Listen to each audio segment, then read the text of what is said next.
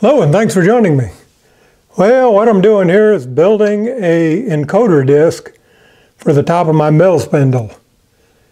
And this is the best place I could find to mount it. Now I've got to cut a bunch of notches in here for the encoder to read. And uh, this is going to be a gear hobber, I hope. uh, this is going to be a multi-part video It'll probably be one, I'll probably do a video when I get parts and I'll do other videos in between. Eventually I'll put it all in a series of videos and post it all at once. But next step now is to take this off and cut some slots entered on the rotary table with indexing wheels, index, indexing discs on my rotary table.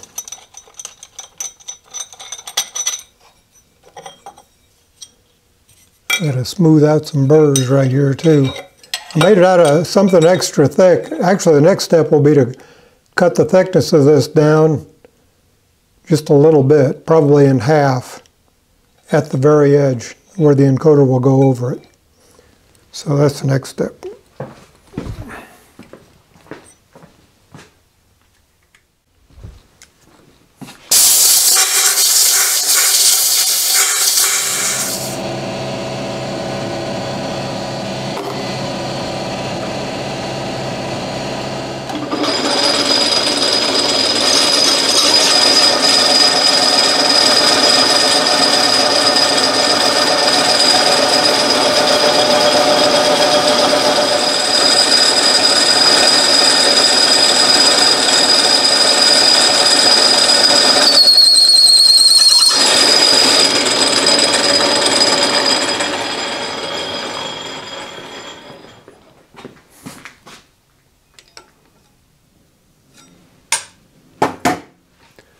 Okay, I'm building this gear hobber from a video or a couple of videos on Andy's Machine. Uh, Andy's Machine's a YouTube channel. And I won't go into a lot of detail. I'll put a link to the videos below in the description. But I'm using an encoder that's 200 pulses. There's my encoder. And it's going to have a gear ratio of 12 and 36, which is 3 to 1. So the small pulley will go on the encoder, so that's going to make my gear blank turn, there's going to be 600 pulses to one turn on the gear blank. So the encoder pulses are 600, and you multiply that by 64, and uh, this is what's going to create the spindle pulses. This is going to be my encoder disk. And I'm going to go with 300. So 300 or uh, encoder 600 times 64 divided by that gives me a whole number. And Andy says as long as it's a whole number, you're good to go. Uh, the reason I went with 300 is because I got a bunch of saws, but this is the only one that works out right uh, in this circumference. This circumference is 15 inches, and if you multiply 0.25, 0.025 by 300, no, by 600, it's that circumference of 15 inches. And the reason I went with 600 is because you got to count the notches and the solid part. So it's going to be one, two, three. Um, it's going to cut 300 slots, but it's 600 divisions. So hopefully I did that right. So we're going to mount this on the rotary table with indexing plates. Okay, here's my rotary table with the chuck on it. I'm just going to expand the chuck to hold that.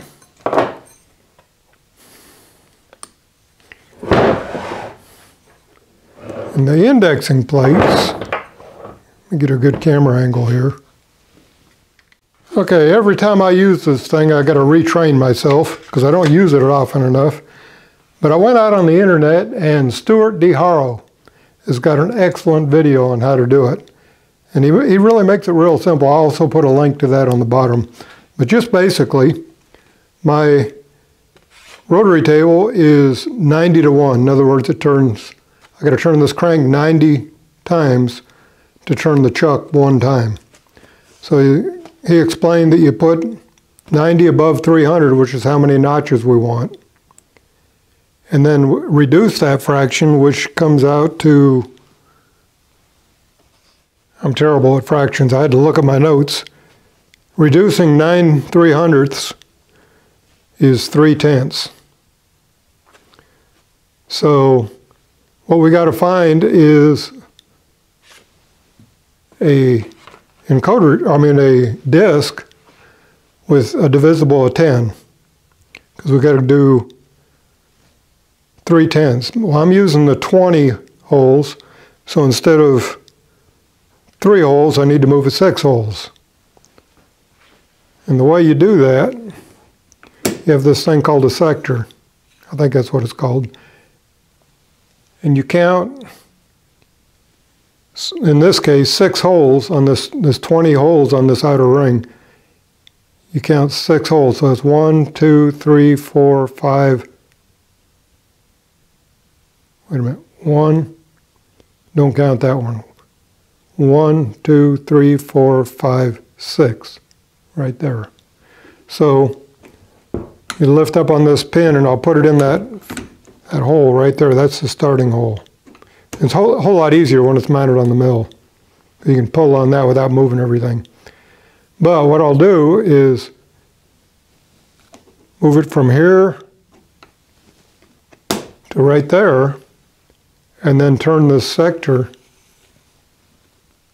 back around like that. Cut my slot,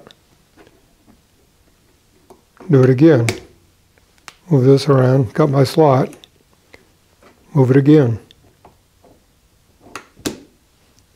move this around, cut my slot, move it again, move it around. So you got the idea. Very simple. And I encourage you, if you got a rotary table or indexing head, watch Stuart De Haro's video. It's a good one. Okay, I had to mount the rotary table on these uh, clamps put a couple of these underneath it because this cover I want to put on my DRO is interfering with the crank on my indexing. What I'm going to do here is raise raise the table up until it hits that saw. There we go, right there. Zero my DRO. and then raise the table half the diameter of that, which is 4.77, I think.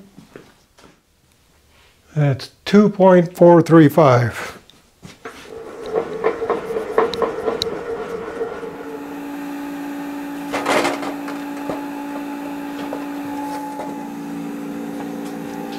Okay. Let's make a mess.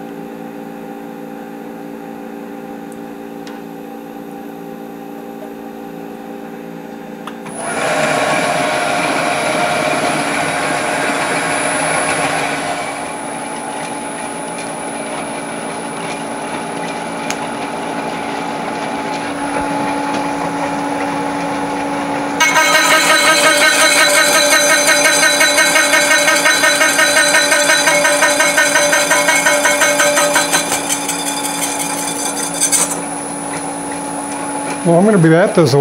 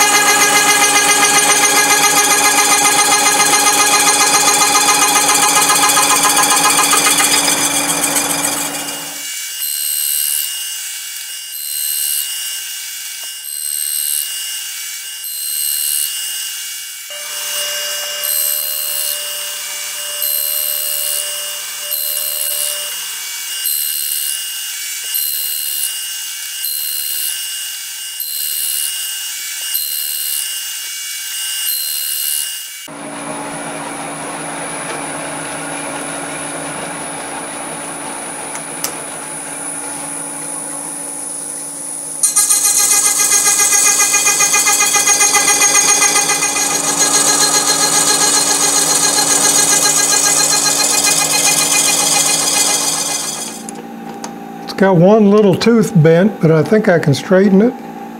It'll be all right. Well, it's fragile though. I didn't realize how thin it was going to be. How thin the... I got one messed up right there. I think I can straighten it out though.